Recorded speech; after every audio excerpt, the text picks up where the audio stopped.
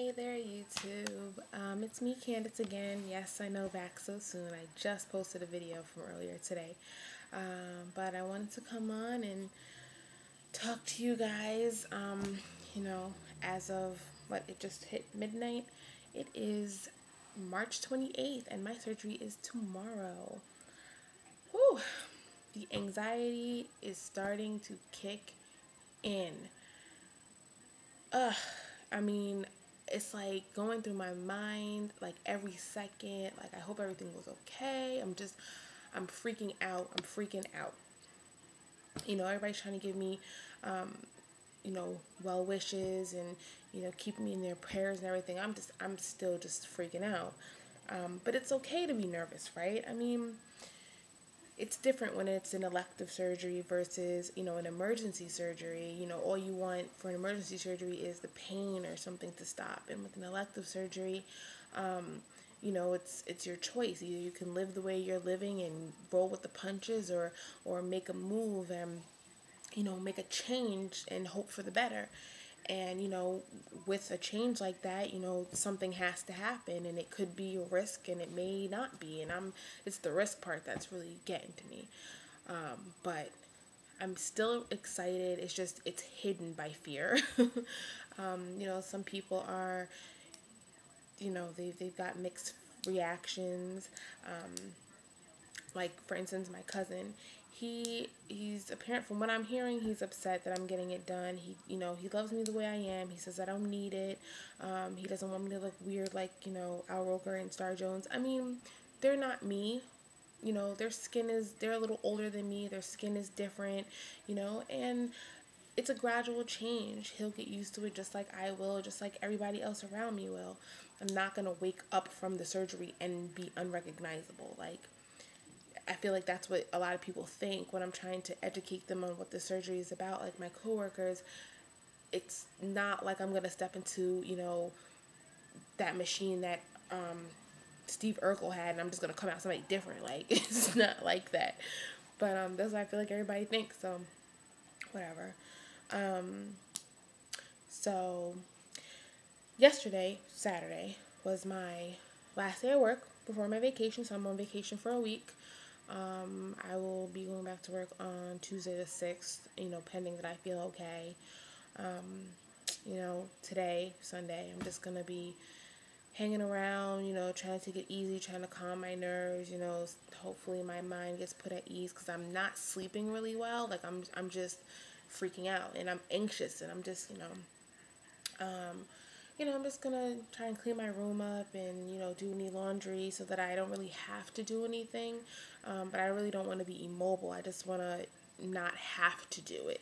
Um, but I do plan on, you know, getting some walking in, pending that the weather is nice. Hopefully it's not freezing cold, but I looked at it, it looks like it's going to be raining for the next few days. But, you know, I plan on going to Central Park and walk around and possibly stop by my job since I work right over there in Midtown um, you know, just to say hi to everybody, and you know, just move because I want to be able to get rid of that gas because I know it's gonna happen, um, and and you know, just recover well and and you know, keep it moving. Um, but anyway, so update. Um, they did change my time. Uh, I'll be having my surgery at 1 p.m. instead of 11 p.m. So I need to be there at 11 p- 11. I'm sorry, 1 p.m. instead of 11 a.m and I need to be there at 11 a.m.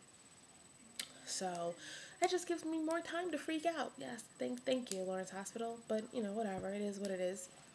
Um, so yesterday, you know, in lieu of me, you know, freaking out about my protein intake, um, even though I was gonna have to go buy the stuff anyway, um, I just went and bought myself a little, you know, some supplements, whatever. So I just wanted to show you guys what I bought.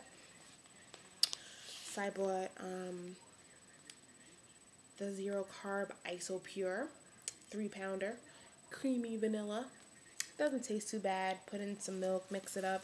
Not too, too bad. I mean, yes, I'd rather have a cheeseburger, sort of, but you know, it is what it is, and this is something that I want, so this is something I'm going to do. Um, I also bought my little multivitamins. Yes, Flintstones complete. This joint cost me $30 because I was in a rush when I could have got it for like 12 or 10 at Duane Reade, but I got it at a health food store in Midtown, New York. $30. Let me see if I still have the tag here. Look at this. Do you see this? $29.99. It's outrageous, outrageous. I don't really like multivitamins and I really don't like Flintstone vitamins, but I'll take them. I mean, it tastes okay. They're chewable.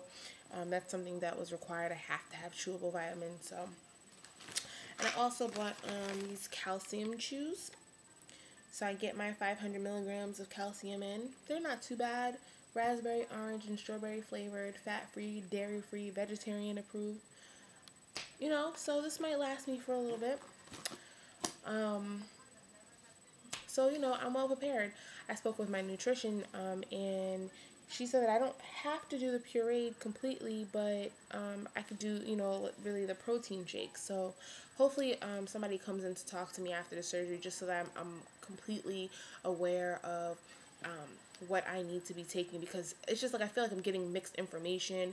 The nutritionist she um, deals with um, lap band and gastric bypass and uh, vertical sleeve gastrectomies as well, and I just don't want, you know, it can't be the same for everybody. It's got, there has to be something that separates the three.